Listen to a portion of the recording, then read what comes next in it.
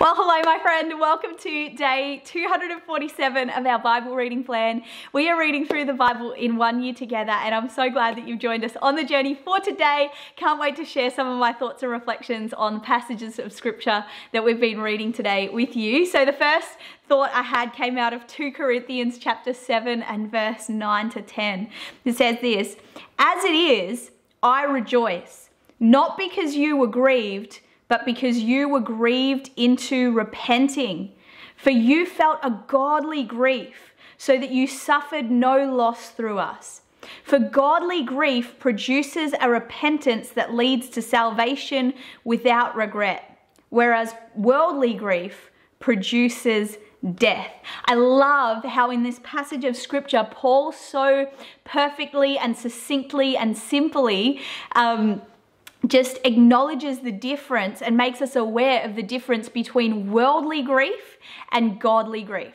And he shows how godly grief is actually good. It actually is an awareness of our sin, an awareness of our state before God, an awareness that we need to repent, and it leads us to repentance. And as we repent before God, we receive forgiveness, we receive freedom that comes with repentance. Worldly grief only leads us to more more shame. I was trying to say shame and sin, more sin and more shame at the same time. Just this cycle of shame and sin and shame and sin and shame and sin because we can't break out of it as we have worldly grief. But as we have godly grief, as we have godly sorrow over our sinful state and over the things that we have done and the places we have been, as we have godly grief, that actually leads us to repentance, which leads us to freedom.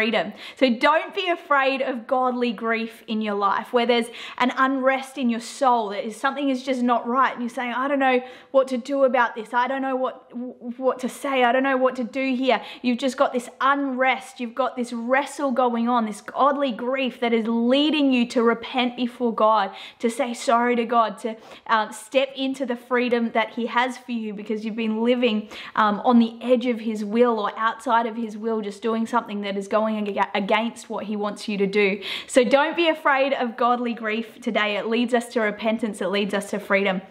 I also loved um, this passage of scripture in Isaiah chapter 6 and verse 1, where it says, In the year that King Uzziah died, I saw the Lord sitting upon a throne, high and lifted up, and the train of his robe filled the temple.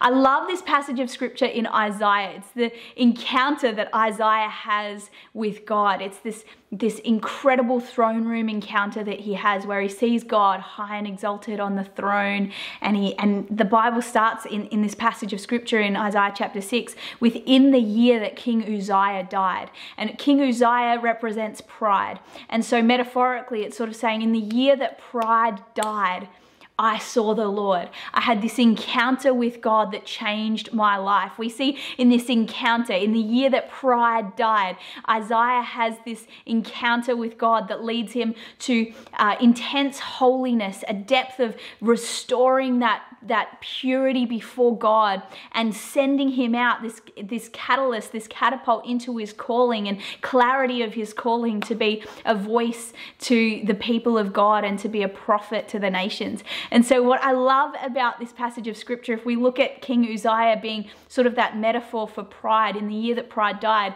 shows us then that when we humble ourselves before God when we let pride die in our lives we can have encounters with God that lead us to, into a deeper place of holiness, into a deeper place of seeing God and knowing God in a deeper way, and also into a place where it's going to clarify and catapult us into our calling. So I'd love to pray for us today, my friend. I would love to pray that pride would die in our lives, that we would go deeper with Him we would be catapulted into our calling today. And I would love to pray as well that we would not be afraid of godly grief in our lives, that we would welcome godly grief. We would welcome the discipline of God to lead us to repentance and lead, lead us into a place of freedom with Him. So, God, I just thank you for my friend today. I thank you for uh, speaking to us through your word today. I thank you that you're here and that you're ministering to us in your secret place, Lord God. I pray, Holy Spirit, right now, that you would just come and remind us us that godly grief leads us to repentance and leads us to freedom. And so, if there is anything that should be grieving us right now, if there's anything in our lives that is grieving the Holy Spirit, if we're walking out of step with you, out of sync with you in any area of our lives, God, highlight that. Give us a godly grief over that thing. And God, I pray that it would lead us to repentance and it would lead us to freedom in you. And I pray, Holy Spirit, that pride would die in our lives, Lord God, that we would um, Um, humble ourselves before you once again today, Lord. As we humble ourselves before you, God, I thank you that you would lead us to a deeper place of holiness, a deeper place of your presence, of seeing you high and exalted. Lord God, let us see you more clearly. And God, I thank you that you would clarify our calling and you would catapult us into your calling for our lives, Lord God. We just give you all the praise and we give you all the glory for everything that you're doing in our hearts and in our lives today. In Jesus' mighty name. Everybody said, Amen. Amen. Well, thank you so much for joining me today, my friend, for day 247 of our Bible reading plan. Can't wait to see you tomorrow for day 248. I'll see you then. Bye.